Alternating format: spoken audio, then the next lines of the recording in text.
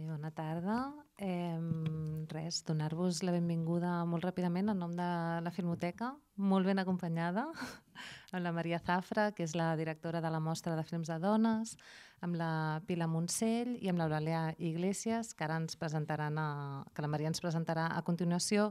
Jo simplement volia dir que aquesta és una retrospectiva que feia molt temps que teníem ganes d'organitzar i vam voler comptar, com sempre, amb la col·laboració de la mostra, que de seguida es van mostrar entusiastes i han sumat el, el projecte amb, amb sessions especials, com per exemple aquesta. Hem, hem aprofitat també que set dels llargmetratges de la Yvonne Reiner um, han estat recentment restaurats amb la col·laboració del MoMA i que justament ara estan començant a circular per diverses capitals europees, de manera que era l'ocasió perfecta i el moment per poder-los presentar aquí a la Filmoteca per reivindicar la, la seva obra. Ara les convidades ens en parlaran més en detall, però ja sabeu que la Yvonne Reiner és una figura fonamental de, de la nova dansa, del cinema experimental, perdoneu, vinculat sobretot amb les avantguardes dels anys 60 i 70 i també un referent de les lluites polítiques atravessades per una perspectiva feminista d'aquell mateix període no, al, als Estats Units. Per tant, es creuen com moltes, moltes línies diferents en l'obra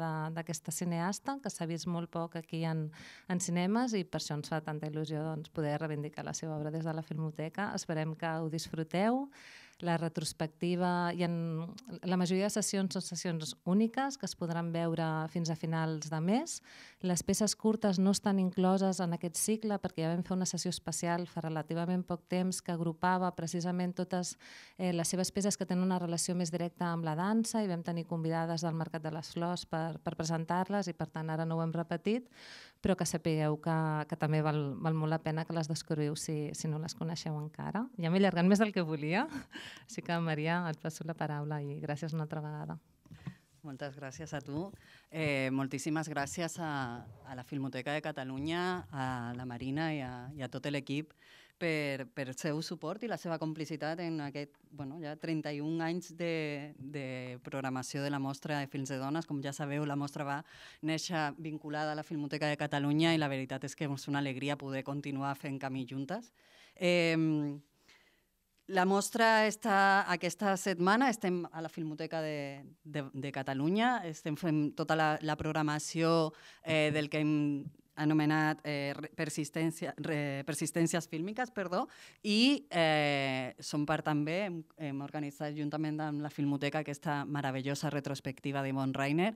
Eh, la veritat és que quan vam parlar amb, amb la Marina i la resta de l'equip va sorgir la idea, la possibilitat eh, no? l'aprofitar que aquesta restauració de les obres per organitzar la retrospectiva va ser un regal, la veritat, i mm, ens va fer moltíssima il·lusió perquè la Rainer ha sigut per la mostra sempre una referència, una referència dels de, eh, feminismes fílmics. De fet, la seva pel·lícula Privilege, la que veurem avui, va estar programada a la primera edició de la Mostra Internacional de Films de Dones de Barcelona, el 93, i Murder and Murder també es va programar, crec que a la sisena edició de la Mostra Internacional de Films de Dones, que serà la següent pel·lícula, la que passarem al, al dissabte.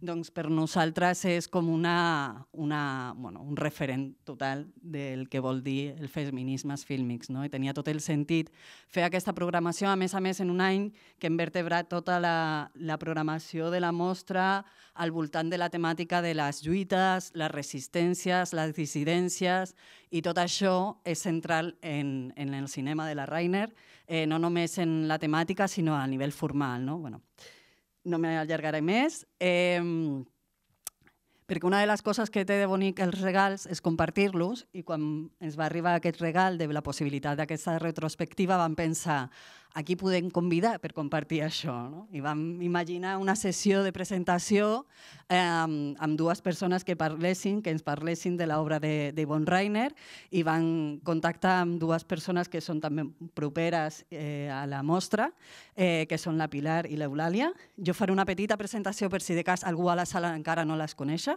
i les donaré la paraula. Eh, la Pilar és cineasta, perdó que l'he perdit, licenciada en Comunicació Audiovisual i màster en Documental de Creació a la UPF, Combina la seva labor com directora amb la docència, el guió i el muntatge cinematogràfic. Les seves obres han participat en festivals com Doc Lisboa, el Festival de Màlaga, el DAL, l'Alternativa i la Mostra de Films de Dones. I aquí s'han programat... Ah, va fer el, el curs, exacte. y mm, entre las obras más destacadas está África 815 y Una revuelta sin imágenes. Actualment treballa en la producció del seu nou llargmetratge, i justament aquest dia s'està fent classes de l'assignatura de Teoria i Pràctica Femi Fílmica Feminista al cinema i l'audiovisual a la UPF, que crec que alguns dels alumnes estan per aquí, i és també programadora del Festival de Màlaga. I l'Eulàlia Iglesias és periodista especialitzada en cinema i audiovisual i professora del Departament d'Estudis de Comunicació a la Universitat Rovira i Virgili. És membre del Consell de Redacció de Caimán Quadernos de Cine i col·labora, entre d'altres, al diari Ara, Time Out Barcelona, Rock Deluxe, Número 0 i Sense Cine. Col·labora com a assessora de programació al DA i fins ara al Festival de Cine Europeu de Sevilla. Doncs és tot vostre. Moltíssimes gràcies. Gracias a vosotras. Hola, ahora sí.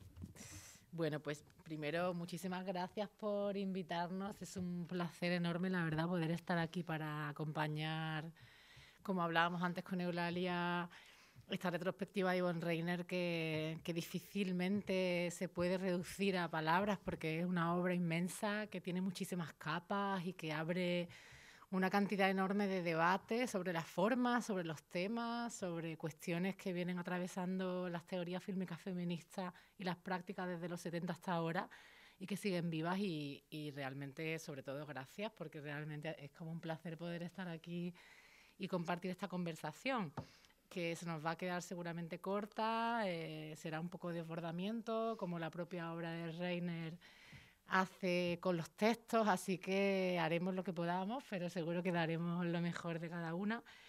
Eh, nada, introduzco un poco eso, mm, recordar que, claro, se han recuperado por la restauración las siete películas que se van a proyectar en la retrospectiva, por la restauración del MoMA y la Fundación Celeste Bartos de la Preservación Fílmica, que está facilitando que ahora vuelvan a verse con eh, mejor calidad y sobre todo que circulen las películas ¿no? de una cineasta. Ewan Reiner nace en San Francisco en el 34 y muy joven se traslada a Nueva York y en, esos primeros años, entre los 60 y los 70, se dedica sobre todo a la danza, a la coreografía contemporánea, a la performance, en el contexto de lo que son las vanguardias artísticas norteamericanas desde la escena del arte minimalista, sobre todo, ¿no?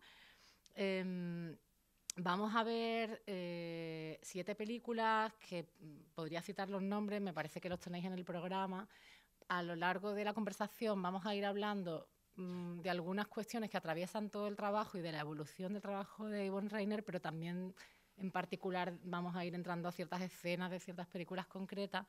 Pero ahora como regresando a ese momento de los 60 en Nueva York, en los que en esos 10 años que de alguna manera Yvonne Reiner se convierte en, en un en un personaje esencial de la escena de la vanguardia norteamericana, neoyorquina en concreto, pues queríamos empezar a hablar de, del Manifiesto del No, que fue un texto que, se publicó en el 65, que, de alguna manera anticipa muchas de las cuestiones de, eh, ir en contra de ciertas convenciones del cine que ya estaban en esa propuesta artística del 65. Entonces le doy la palabra a Eulalia y ahí empieza ahí el diálogo. Hola, què tal? De fet, sí, mm, després seguirem parlant de la fascinació també que ens genera Yvonne Reiner des d'aquest context de, mm, per una banda, les avantguardes eh, nord-americanes, però més en concret també certes avantguardes feministes que eclosionen això entre els 60 i els 70. I, per altra banda, també el seu propi perfil com a directora, com a cineasta, que s'escapa eh, del que podien ser això els perfils tradicionals masculins d'allò que s'entén com a home, però que per altra banda sí que té molt a veure amb el que podia ser precisament la figura d'una eh, artista vinculada a les avantguardes. I en els anys 20 les avantguardes es conceben elles mateixes, eh, diguem-ne, com a, com a, mm, com a, des d'una idea interdisciplinària de l'art i Yvonne Reiner, ja diguem en aquest context ja més dels 60-70, mm, continua amb aquesta idea de eh, bueno, partir de, de, de, de la dansa per aproximar-se al cinema, però també considerant aquesta, diguem-ne, hibridació entre um, dues disciplines que, de fet, mm, sí que s'havien, en, en el fons, a vegades, eh, eh, explorat des d'aquesta barreja. Estic pensant, per exemple, Maya Deren, no? en el fons també seria una figura que entra en aquest perfil de dona que vincula mm, les avantguardes amb tot el que podria ser amb l'autorepresentació femenina vinculada al moviment, a la dansa, a la coreografia, no? I, i, i això, i la transfiguració a través de, de, del, del ball.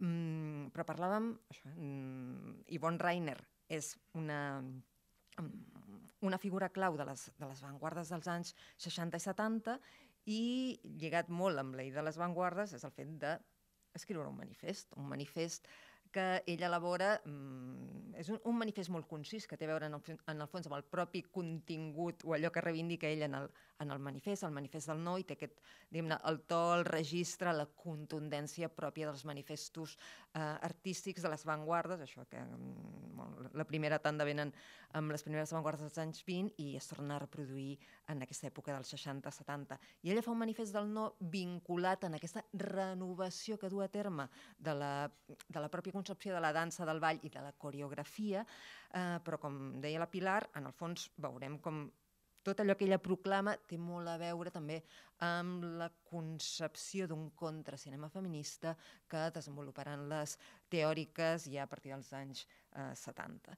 I en el manifest del no ella mm, no a l'espectacle, no al virtuosisme, no a les transformacions, a la màgia, al fer creure, no al glamour i a la transcendència de la imatge de l'estrella, no a allò heroic, no tampoc eh, a l'antiheroi, no al, a la imagineria eh, trash, diu, escombraries, no a la implicació de l'intèrpret o de l'espectador, no a l'estil, no a l'amanerament, em sembla que diu camp en, en anglès, no a la seducció de l'espectador per les artimanyes de l'intèrpret, no a l'excentricitat, no a commoure o a ser commogut.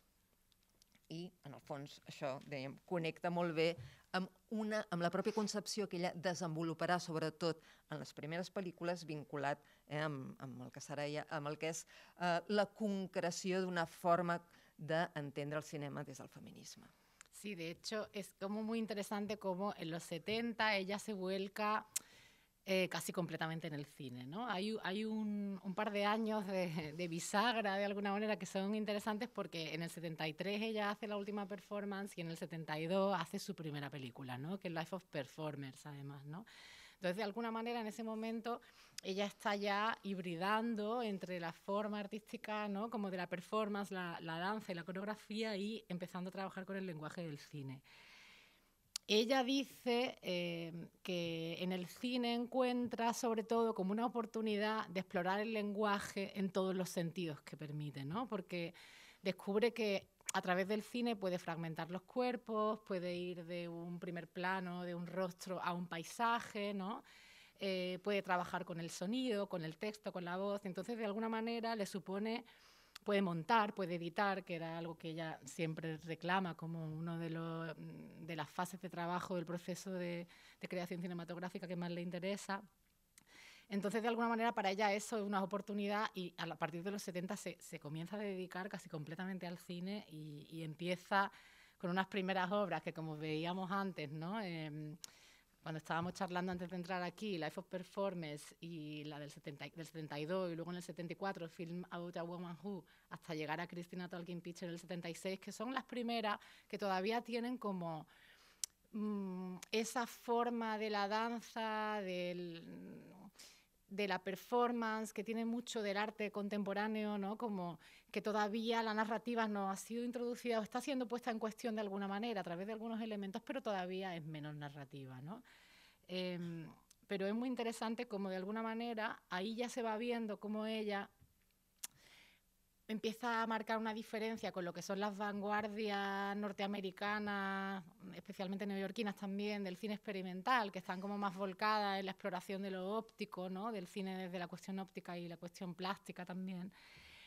Y va encontrando como que en la narrativa también hay como un hueco que, que puede ser una exploración experimental. ¿no? Y yo creo que ahí es hacia donde va su obra, hasta llegar a las obras posteriores, pero, pero bueno, de ahí, de ahí podemos arrancar también toda una conversación ¿no? que veníamos hablando antes con Eulalia, ¿no? de cómo ella, eh, por un lado, eh, se, se, adentra en esa subversión narrativa, en esas primeras obras, por otro lado, en ese contexto de lo que son las teorías fílmicas feministas que están emergiendo en los 70, eh, y que ella es que, es que es parte de ese, de ese procedimiento, de ese proceso, de todos esos debates, tanto a nivel formal como a nivel temático, como a nivel de las cuestiones que las atraviesan, ¿no?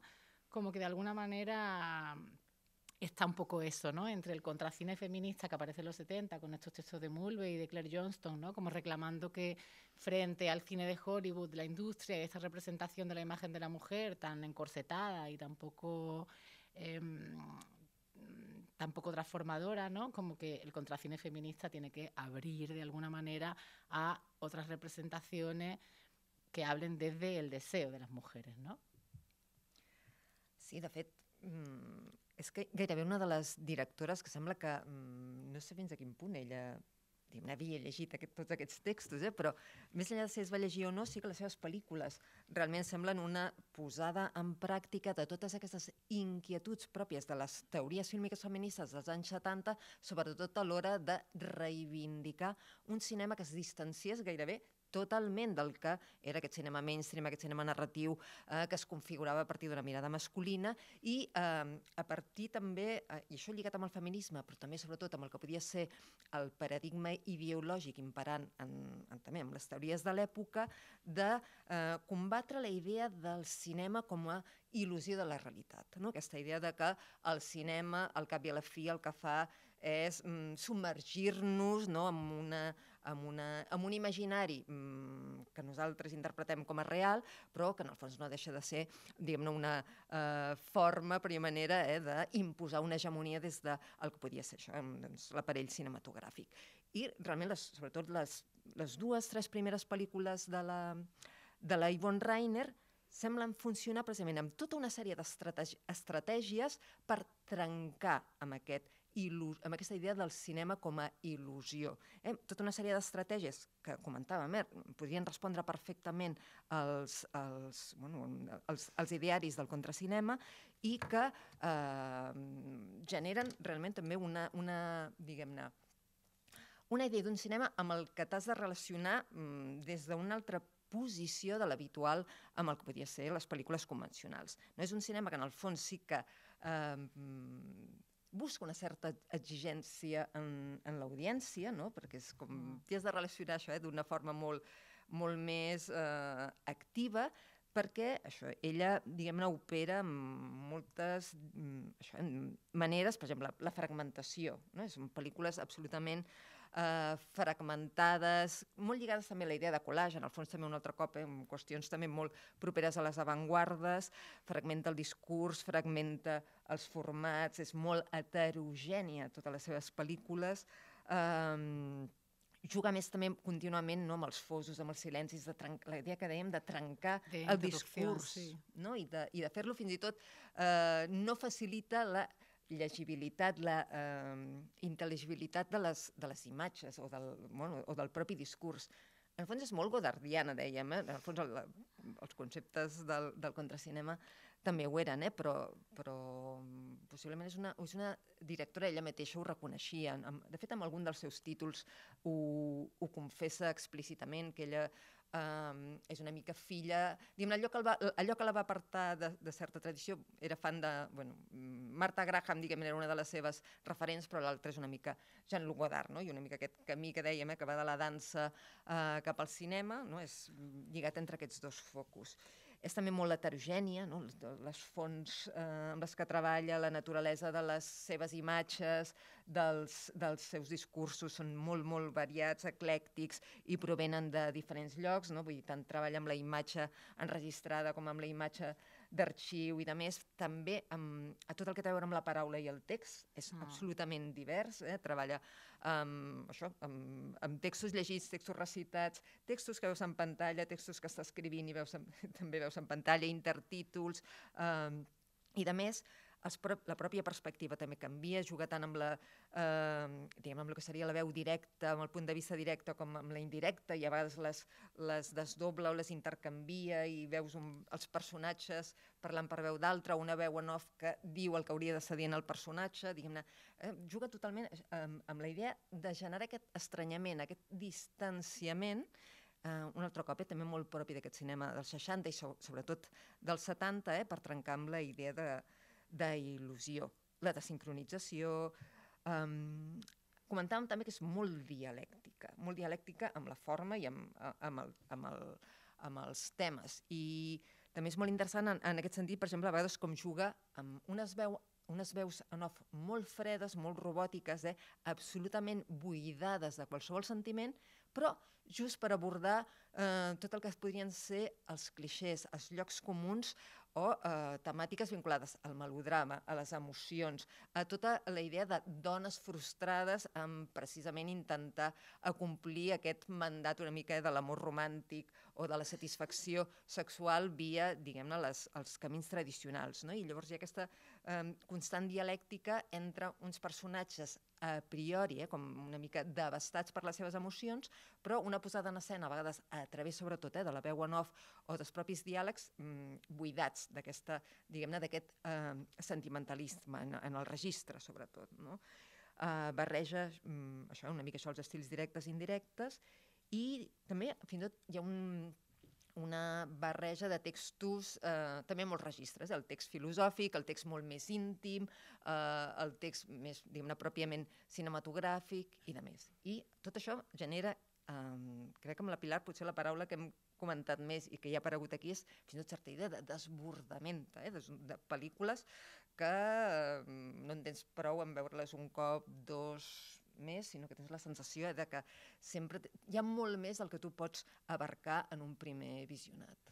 Sí, sí, o sea, son, yo creo que a medida que avanza, digamos, como su evolución como cineasta, se va complejizando aún más la cuestión, ¿no? O sea, porque al principio, evidentemente, partiendo de, de esa experiencia como artista del minimalismo, evidentemente eso tiene una, mucho más que ver con la cuestión de la depuración de las formas y a medida que se introduce en la práctica fílmica, eh, las películas van, van multiplicando sus capas, van siendo desbordadas por una serie de materiales que, que, se van sumando y que van multiplicándose y creciendo de una manera completamente desbordante. O sea, puedes leerlas, como decía bien Eulalia, desde la cuestión de, de, esas capas que tienen que ver con los estatutos de la imagen, con el uso de imagen de archivo, con el uso del documento, con la cuestión, por otro lado, de la forma fílmica, o sea, del registro documental o del registro de ficción o del registro de cinemas de arte, ensayo o experimental, pero también la puedes mirar desde la cuestión de la puesta en escena, ¿no? porque la propia puesta en escena trabaja desde lo performativo o desde la danza o trabaja desde la interrupción o desde el elemento más brechano de los distanciamientos, eh, desde la ficción, eh, y entonces de alguna forma su trabajo se va complejizando. Ella misma declara que ella pretende complejizar eh, las cuestiones. De hecho, una, una de las cuestiones también más interesantes es cómo ella, eh, y esto a medida que avanza también la cinematografía hacia las últimas pelis, que son las primeras de la... Me parece muy interesante también que hayáis programado desde las últimas hacia atrás, más o menos, ¿no? Sin ser cronológico, pero sí partir, partir de esta de estas últimas que son más accesibles porque son un poco más narrativas, aunque como ella bien dice, si un director de la industria viera esa película diría que no narrativa, ¿no? Pero bueno, siempre depende del punto de vista desde el que se mira algo, pues se elabora un discurso u otro, ¿no? Pero sí que de alguna manera como eh, Privilege, que es la película que vamos a ver hoy, Murder and Murder, que es la del sábado a las 8, eh, son de lo, después de los 90 y, y son las películas más, más, narrativas en el sentido de que si bien son una exploración de la narración y una, una especie de ataque a la convención de la propia narrativa del cine de industria, pero desde dentro de alguna manera, ¿no? Como esa cosa de... Eh, vamos, vale, vamos a aceptar que hacemos una ficción, pero si trabajamos con actores y con personajes, eh, porque los personajes pueden intercambiarse y entonces puede haber varios actores que representan el mismo personaje, o puede haber una intención de la interpretación que sea no expresiva, brechana, pero tampoco tiene por qué ser dramática, puede ser humorística también, ¿no? Como pasa en Murder Murder. Eh, o esta cuestión de la intervención directa de, de la propia Yvonne Reiner. Eh, cinco tengo. Tenemos.